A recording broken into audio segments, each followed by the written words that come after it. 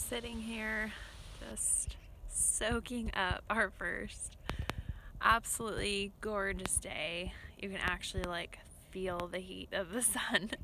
and when this happens in the spring, it's just like a very welcome reminder that spring is just around the corner.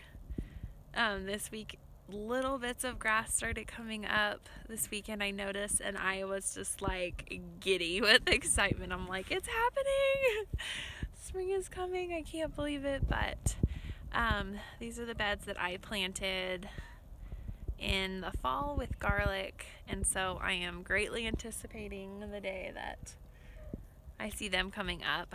I have such a hard time believing that they're even going to come up because I planted these in I think October last year. And so it's just so strange to put something in the ground and for it to bring new life in the spring. So I'm definitely going to be documenting the day that I see those start popping up. They're the first thing that come up around here in the spring. So that is going to be an absolutely exciting day.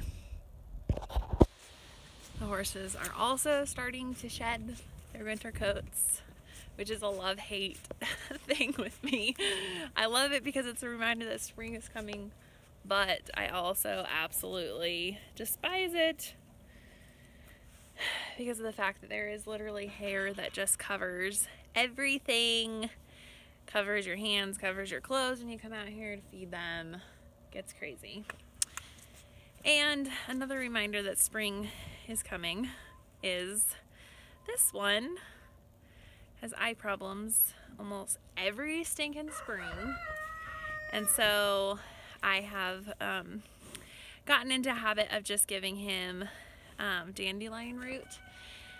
Typically, I try to start this in um, like the end of February before it actually gets warm. But like this eye, you can see that he is just not opening it all the way. It's definitely swollen. It's been just like teary and really bothering him. So I had to put him on um, antibiotic ointment that you have to just like put in his eyelid.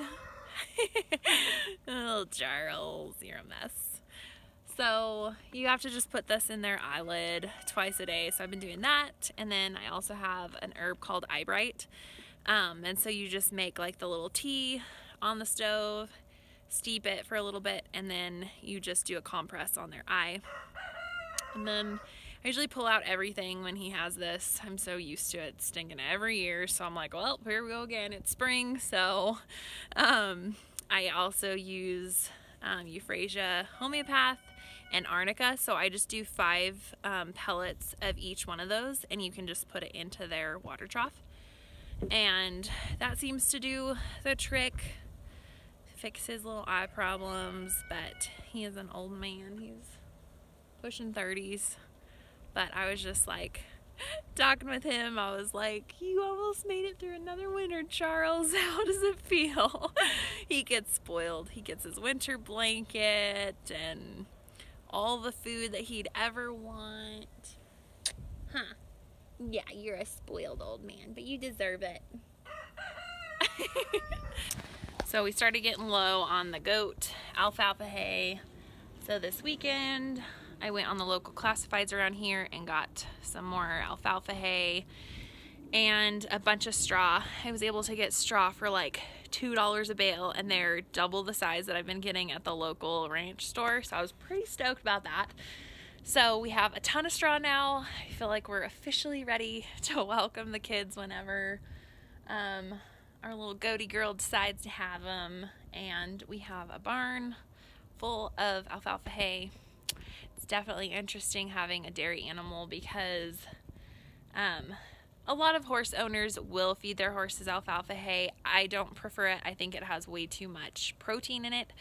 And so i usually just do um, like a grass mix and then i just um, you can like supplement with alfalfa hay, but I don't like that to be the majority of their diet.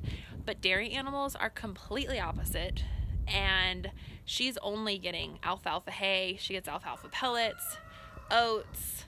So it's just interesting. I was just like laughing this week and I'm like, they are like total opposites from horses. but it was a really good deal, super good price, and I wanted to make sure that we had plenty of hay on hand um, because they say as soon as the kids are born, it's good for them to just start munching and just mimicking exactly what mama's doing. So I wanted to make sure that we had plenty of that on hand, and we need straw to cover the entire um, structure, the little shed that we have for her for kidding season. So um, we're all stocked up, ready. I keep checking her multiple times a day to see how she's doing, and she's huge. So we were like watching her belly this weekend, and you could totally see the little babies moving around. So it's exciting.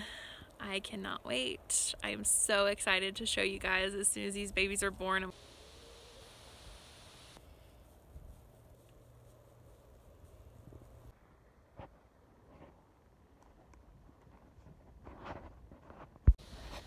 I was coming back here to the back of our property. I realized today that it's um, been almost two years since I lost my Mustang Eli. Um, so I just kind of wanted to see if there was anything growing.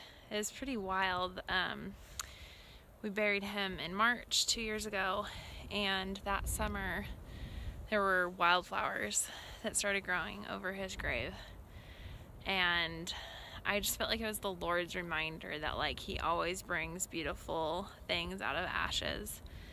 And so I just kind of wanted to come back here and reminisce and um wow, yeah, just think about how God has completely renewed that area for me. Um, being able to buy a little baby colt last year and I look over and he's a little buckskin colt and Eli was buckskin and I by no means try to buy horses out of um, replacing old ones because you just can't. Um, every horse, it's like people, their personality is completely different. There's no duplicating that. Um, but it's pretty amazing to look over to my pasture and see this little baby that is just awaiting training and um, that I could have a really neat future with. Um, obviously, time will tell as I train him and um, see if we mesh, see how he takes to training. Every horse is completely different. Some of them learn really quick. Um, we might bond super quick, and it could be complete opposite of that. And so I'm trying to not have expectations, but um, yeah, it's just it's crazy what two years can bring. And when you're in the thick of, you know, like mourning and kind of shook up from something that you didn't expect at all to take place. And I know that this is just a horse, it's just an animal. Um, but to me, my horses mean a lot to me. And um, it was a pretty devastating situation. Um, it was something that I never expected. I thought that we had um, a big future ahead of us and tons of life to live together. And um, it just didn't it didn't work out that way. Definitely not what I had expected.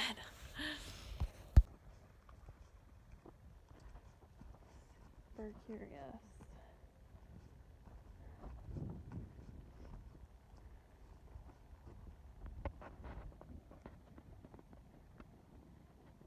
I've definitely had a thought as soon as I buried him. I was like, man, I would love to grow something back here.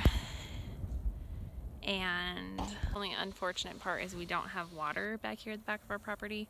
So it would have to be something that's somewhat drought tolerant. Um, me and mom rolled around doing maybe some lavender back here. It's definitely hard because the deer do eat a lot of things.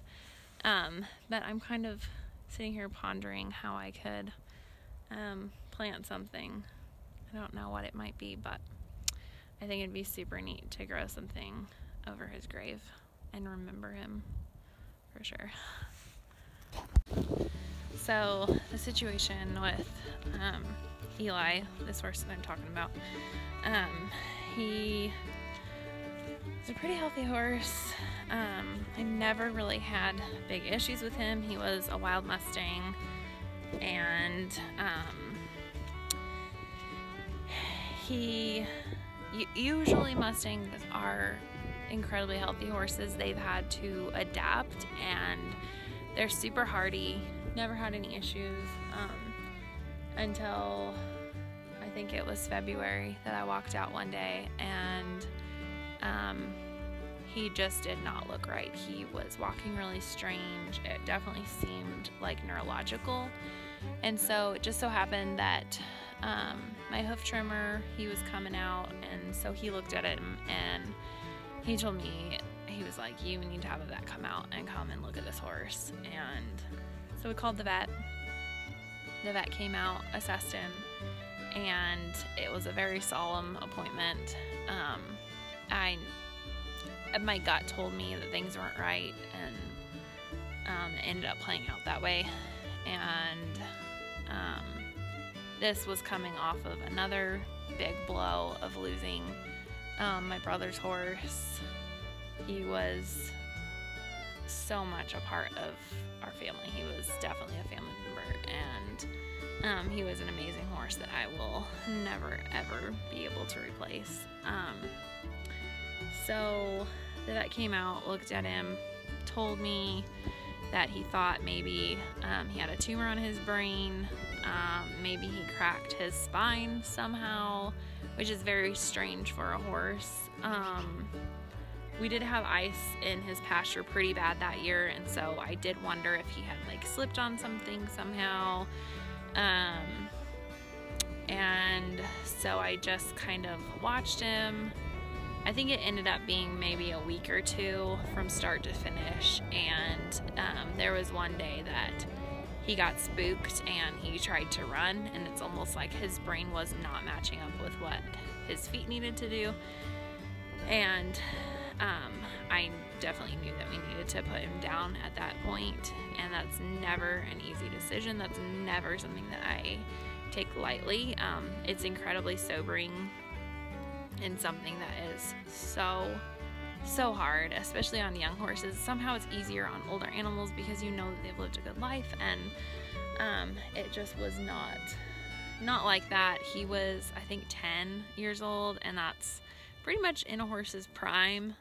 So that was a giant blow. And after that, I pretty much decided that I would probably never buy a horse again because my heart could not handle it. And then here comes Smokey into my life last year, and here I am with a little one year old. He's gonna be one in April. It's just so cool. So, yeah, I think um, if you're in the middle of a season that you never thought, um, don't lose heart and just know that um, God renews things, He restores things, and He doesn't take us down to our lowest lows to leave us there. So, little little tidbit